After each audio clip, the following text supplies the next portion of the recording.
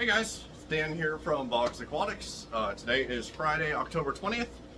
We are open from 11 a.m. to 6 p.m. today, and we've got some fish to unbox. Uh, this is one of two shipments coming today. The other one we probably won't do an unboxing for, it's more of a local shipment. Uh, but this one is from Predatory Fins. So smaller shipment, but some really cool predatory fish in here. Let's uh, let's get into it. Hope everybody is having a good day. Can't tell it's just me. Megan is on vacation. Hope she's having fun. I am here. Here's a little.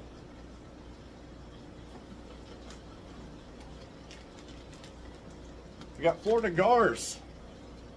Little Florida gars. We've been trying to get little Florida gars for a very long time. We can normally only get them in when they're already like eight inches plus. So finally able to get some smaller ones. These guys are probably three to four and a half inches, but they look good. Let's see what we got next. There's only two bags in this box. Oh, I forgot I ordered these. These are a type of bass. Forget which kind these are. I believe these are a hybrid of a largemouth bass. And they came in at a really good size. They're probably mostly four inches. One box down, one more to go. Come on. All right, looks like there's a lot more in this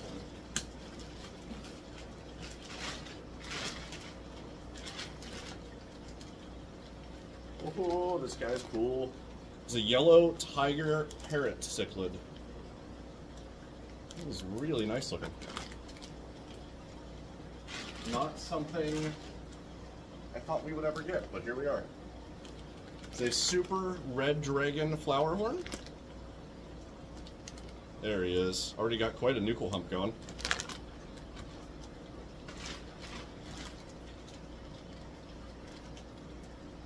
This is the the red tiger parrot. I don't know if you guys heard that. That was a, one of our tanks splashing. Also a good five inches plus, probably.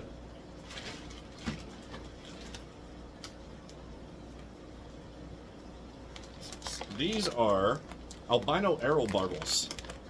If anybody's been in recently, we have one in our 240 gallon custom aquariums tank. Sorry, the angle's weird. Um, but these guys are really cool. They just keep this like really bright, like almost uh, pearl scale look to them. And last but not least, giraffe catfish. Forgot what we ordered.